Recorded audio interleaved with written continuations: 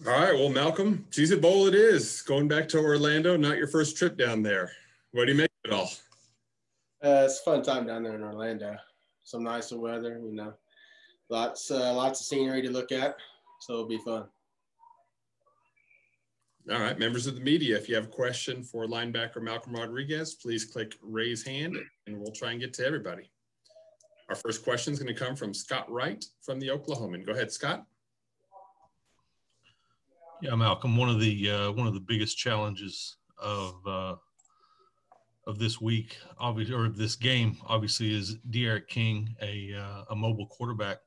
What uh, what specifically does that mean to you when you got a a really mobile guy back there that can that can run and throw? You know, we got to be uh, on our assignments, know what gaps we fit on the run, and they like to use them to run a lot. So we got to fit our gaps and uh, plug our holes you uh, you're a guy that'll they'll come in uh, on the pass rush as well.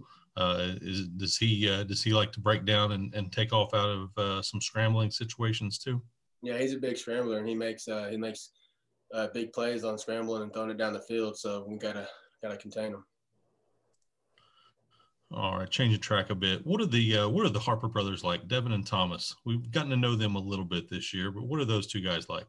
Uh, they're fun to be around. They're chill, and uh, it's it's all love over here with the the twins or the brothers. So, like I said, I mean, everyone loves them, and they uh, bring positive energy around here. Are they are they kind of like twins?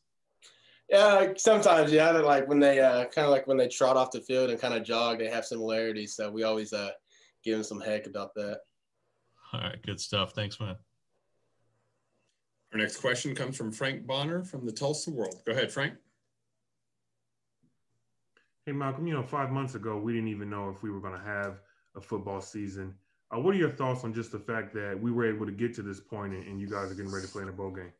Uh, it's very disciplined of us and the team to, uh, you know, stay away from the COVID. And we did a very good job of uh, getting to play every week. And some teams were unfortunate enough not able to play. So they're just a privilege to uh, be able to play every week. And how uh, excited you you know get back to Miami, like Evan said?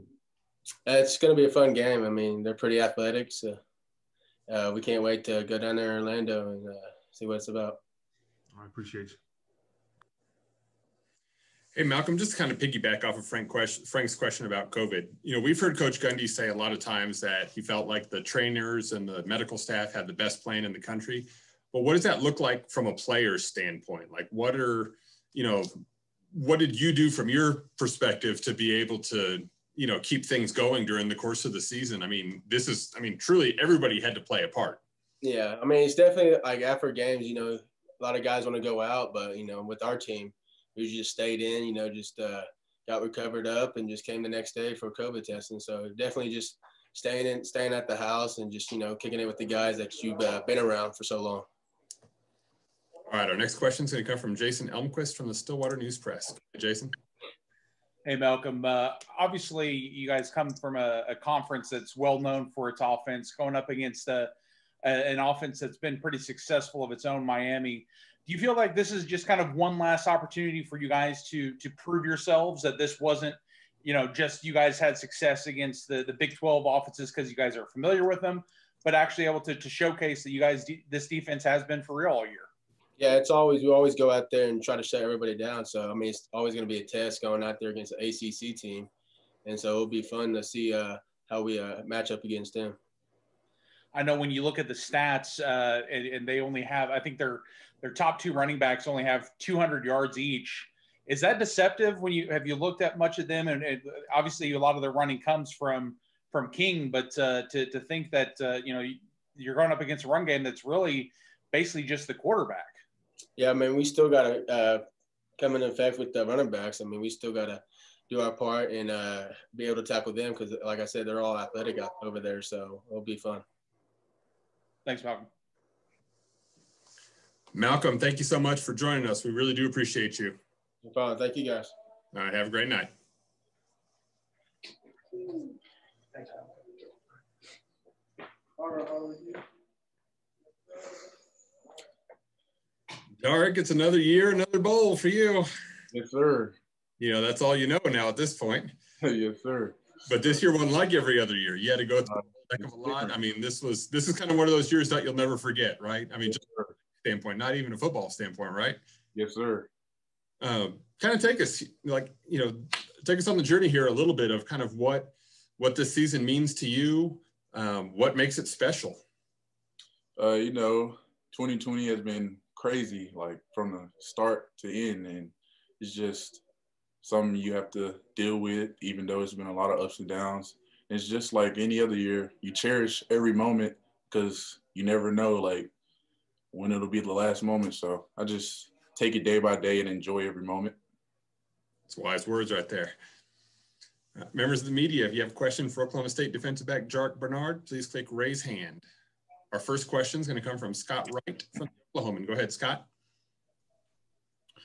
Yeah, Jarrick, how does your role change when uh, when Rodarius is not uh, is not out there as, like he's going to be this week for this uh, this game?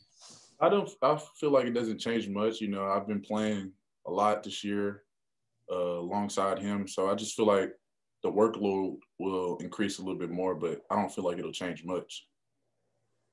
I mean, obviously, uh, you'd rather, you know, or well, I don't know if you it matters, but uh, but um, my question is, do you uh, do you enjoy that uh, that added challenge that comes with uh, with him not being out there? Oh yes, sir. You know, you go out there playing the best each week, so I mean, of course, you look forward to it. It's just another opportunity to showcase my talents with uh, with Thomas Harper. How has uh, how have you seen him develop this year? I know he's uh, he's kind of playing in your old spot quite a bit there. Uh, how have you seen him develop this season?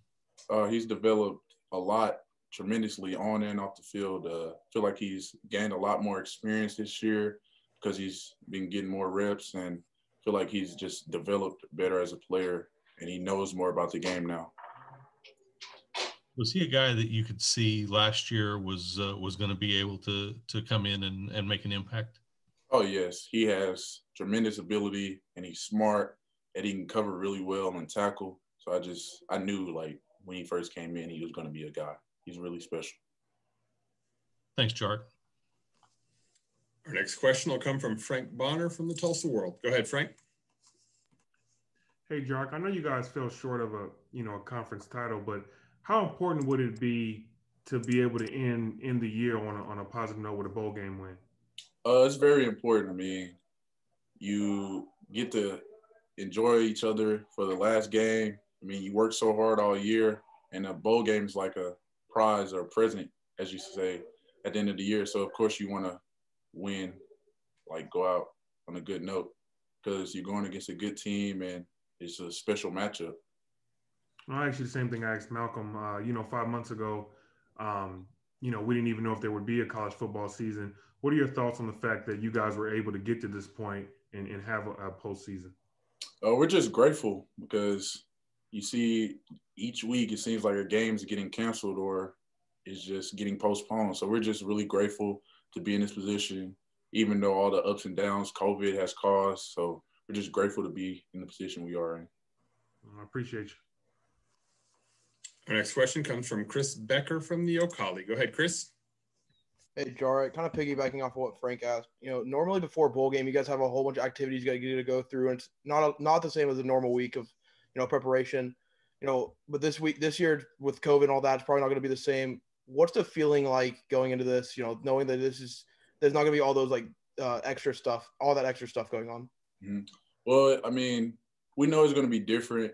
We just know like I feel like it'll be less of a distraction because when you go down there, you got things you do outside of like practice and stuff. But this year is just strictly focused on the game. So I feel like that'll give us an opportunity to just focus on the game and go out there and try to win. Thanks, Jarrick. Hey, Jarrick, I've got one final question for you. You're really set up to be, you know, a prominent player in the secondary next year in the defense next year. What does this bowl game mean for you personally as you continue to take steps up the ladder, you know, in terms of your visibility within the team and the Big 12 and beyond? Yes, sir. Like you said, it's just another game for me to develop and get better. And I look at it as a, a good opportunity to go out against a good Miami team because they have good receivers, good offense, good quarterback, and a good scheme. So I just feel like it'll be a really good opportunity for me to develop and get ready for next year. All right. Well, that'll do it for questions. But before we cut, cut you loose, is there anything maybe that you wanted to talk about or anything that you feel is important that we missed? Uh, no, I think we covered everything. All right. Well, we're thankful for you. We appreciate you. Thank you, guys. All right. Have a great night. You too. Thanks.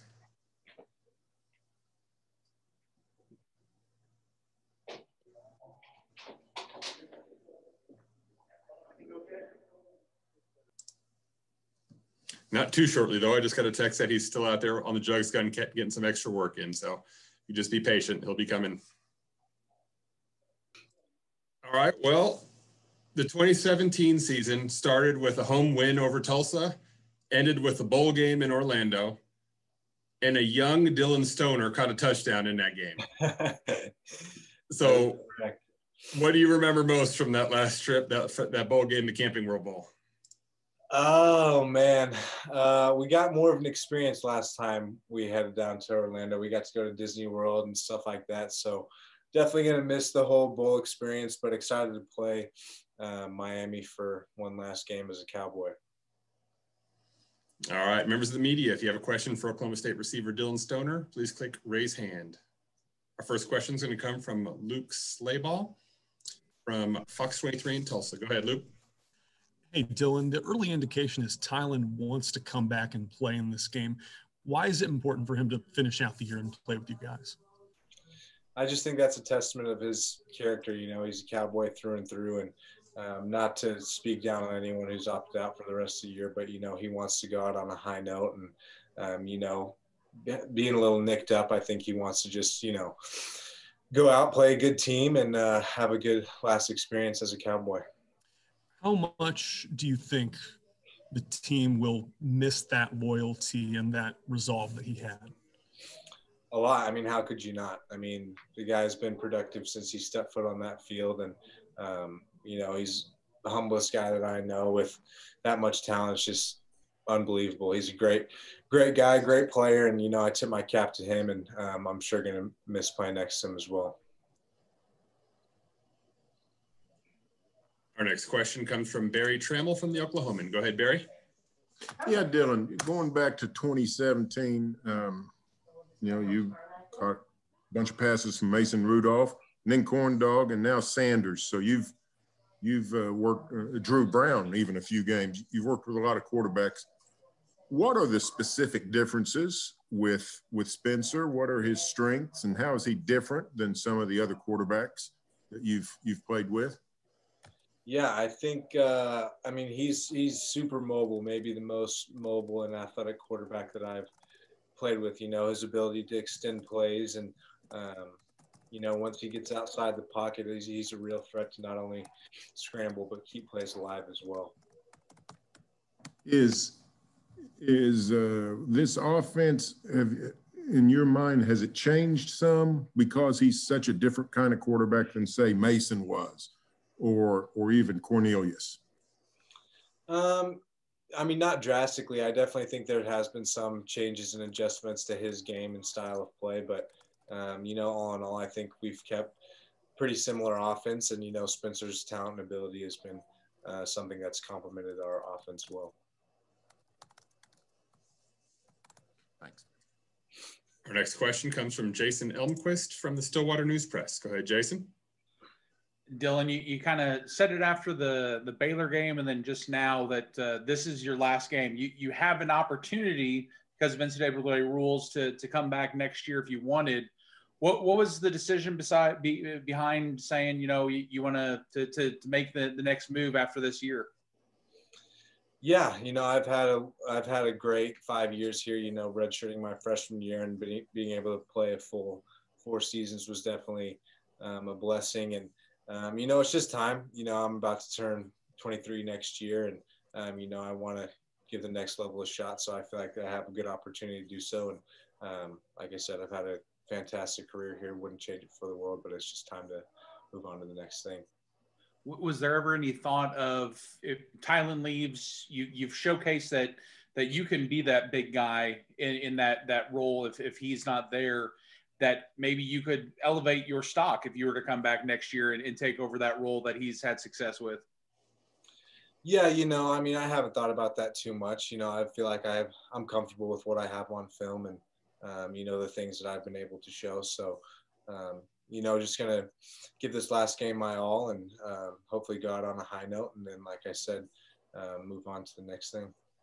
With, with that in mind, then, what do you hope you've instilled to the younger guys behind you, the wide receiver group that'll be filling in for guys like you and, and Tylan and whichever other seniors decide to to uh, to call it uh, a career as well. Yeah, you know we're we're in a really good shape with the young guys that we we have right now. We've had a lot of guys have really grown um, and matured a lot over this season and got a lot of reps. Maybe you haven't seen as much on Saturday, but I mean, um, guys are going to step up, fill in. You know, seeing more of young guys like Rashad, uh, Brennan Presley. Um, the list goes on and on. So, um, you know, I know they're going to continue to work hard and um, keep uh, great names in uh, the Oklahoma State wide receiving corps. How tough do you think it'll be to take off that uh, that uniform one last time after the bowl game? Oh man, it's going to be tough. Probably pretty emotional, but um, you know, like I said, I've I've had one hell of a time here, and I wouldn't trade it for the world. Thanks, Dillon. Thank you. Our next question is going to come from Scott Wright from the Oklahoman. Go ahead, Scott.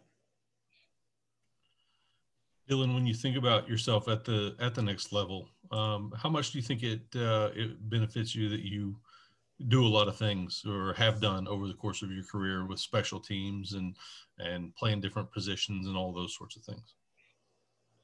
Yeah, uh, you know, I'd like to think it, it would help, but um, you know, my mindset is just do whatever I can to help the team win, and um, that's been my mindset since high school. So, um, you know, whatever finishing roles I need to do for this bowl game, I'm I'm willing to do, and also uh, at the next level as well. Did you decide pretty early on that, that this was going to be your last season, even after the uh, rule change came out? Uh, you know, I always kind of had that on mind, um, being a fifth year senior and stuff. And, you know, six years is a long time. Um, but, you know, I, am at peace with the decision and, and excited and looking forward to um, continuing to play football. I want to ask you a question about somebody on the other side of the ball. Uh, Thomas Harper is a guy that I'm sure you've you've gone up against uh, at, at, times in practice. What uh, what have you seen from him development wise? How has he grown as a uh, as a coverage guy on that uh, that slot receiver? A lot. You know, that's a guy that's been kind of moved around quite a bit um, as, as his early career here. You know, he started at a corner, went to safety. Now he kind of plays nickel safety role. So he's been moved around a lot, and I think all those ex- past experiences have really helped him. Now, you know, he's he's grown a bunch and will continue to do so. So he's he's a great player and will only get better.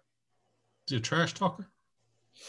I haven't heard too much. I I, I couldn't speak for him on game day, but um, you know he, he's pretty much just quiet guy who goes about his business at practice. All right, good stuff. Thanks, Dillon. Thank you. Well, Dillon, thank you so much. We appreciate your time. Yeah, thank you guys. You guys take care. Take care. You have a good night. You too. Members of the media, thank you as well. I always appreciate you.